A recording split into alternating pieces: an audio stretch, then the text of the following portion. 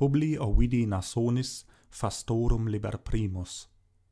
Tempora cum causis latium digesta per annum, lapsaque sub terras ortaque signa canam, excipe pacato, caesar Germanice vultu, hoc opus et timidae de navis iter, officioque levemnon aver satus honorem, entibi de voto numine dexterades sacra recognosces annalibus erut apriscis, et quosit merito, quaeque notata dies.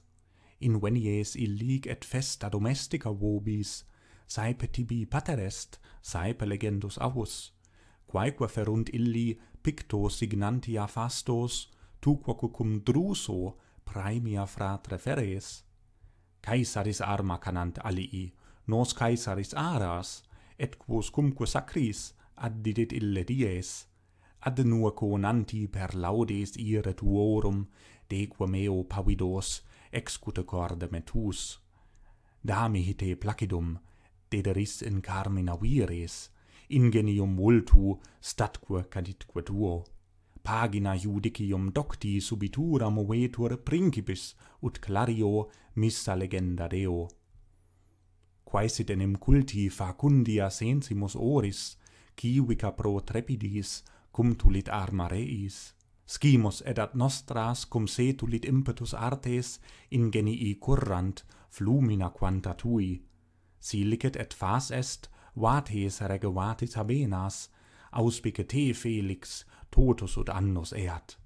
Tempora di gereret cum conditor urbis in anno constituit menses, quinquebis esse suo, Scilicet arma magis quam sidera Romulen cura curaque finitimos vincere maior erat. Est tamen et ratio Caesar, quae moverit illum, erroremque suum, quotu eatur habet. Quatsatis est utero matris dum prodeat infans, hoc anno statuit temporis esse satis. Per totidem menses a funere conjugis uxor sustinet in vidua tristia signa domo haec igitur vidit trabeati cura quirini, cum rudibus populis annua jura daret. Martis erat primus mensis, venerisque secundus, haec generis princeps, ipsius ille pater, tertius a senibus, juvenum de nomine quartus, quae sequitur numero turba notata fuit ad numa nec ianum nec avitas praeterit umbras mensibus antiquis praeposuit quaduos. ne tamen ignores variorum jura dierum non habet officii lucifer omnis idem ille nefastus erit per quem tria verba silentur fastus erit per quem lege licebit agi nec toto per stare die sua jura putaris quiam fastus erit mane nefastus erat. Nam simul exta Deo data sunt, licet omnia fari, verba quonoratus libera praetor habet. Est quoque quo populum ius est includere saeptis, est quoque qui nono semper ab orbe redit. Vindicat ausonias iunonis cura calendas, idibus alba Jovi grandior agna cadit.